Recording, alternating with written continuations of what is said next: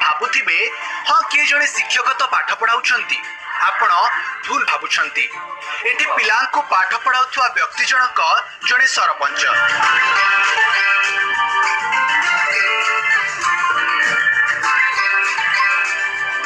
ଜିଲ୍ଲା ବେଲଗଡିଆ ଉଚ୍ଚ ବିଦ୍ୟାଳୟରେ ଭଣ୍ଡାରୀ ପୋଖରୀ ବ୍ଲକର ରହଣିଆ ସରପଞ୍ଚ ପହଞ୍ଚି ପିଲାମାନଙ୍କୁ ପାଠ ପଢାଇଛନ୍ତି। ସରପଞ୍ଚ ରଞ୍ଜନ ପରିଡ଼ା ନିଜ ପଞ୍ଚାୟତ ଅଧୀନରେ ଥିବା ବିଭିନ୍ନ ସ୍କୁଲ ପରିଦର୍ଶନ କରିବାକୁ ଯାଇ ସ୍ଥିତି ଅନୁଧ୍ୟାନ କରୁଛନ୍ତି।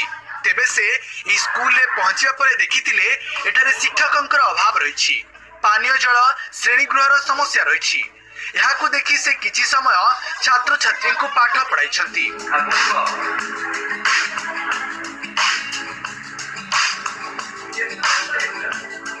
ମୁଁ ନବନିର୍ବାଚିତ ସରପଞ୍ଚ ହେଇଛି। ତେଣୁକରି ପ୍ରଥମ କରି ମୁଁ ଶିକ୍ଷାକୁ ଧ୍ୟାନ ଦଉଛି। ଯଦି ମୋ ଗାଁ ଶିକ୍ଷା ସମୃଦ୍ଧିରେ ହବ ପ୍ରତି ପିଲା ଶିକ୍ଷିତ ହେବେ। ଶିକ୍ଷିତ ହେବା ଦ୍ୱାରା ପିଲାମାନେ ଡକ୍ଟର ଇଞ୍ଜିନିୟର ହେଇକି ଆଗକୁ ମୋ ଗାଁର ନାଁ କରିବେ। ତେଣୁକରି ମୁଁ ପ୍ରୟାସ କରୁଛି ଯେ ପ୍ରଥମ କରି ଶିକ୍ଷା ସ୍ୱାସ୍ଥ୍ୟ ଉଭୟ ଯଦି ମିଳିଯାଏ ମୋ ଗାଁ ତାହେଲେ ସୁନାର ଗାଁ ହେଇଯିବ। ଏକ ଆଦର୍ଶ ଗାଁ ପରିଣତ ହବ।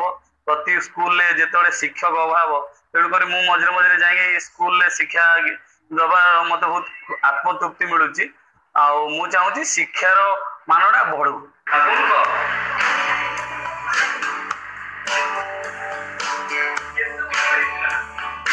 ସ୍କୁଲରେ ଷଷ୍ଠ ଶ୍ରେଣୀରୁ ଦଶମ ଶ୍ରେଣୀ ଥିବାବେଳେ ରଞ୍ଜନ ପିଲାଙ୍କ ଦକ୍ଷତା ମାପିବା ସହ ପାଠ ପଢାଇଥିଲେ।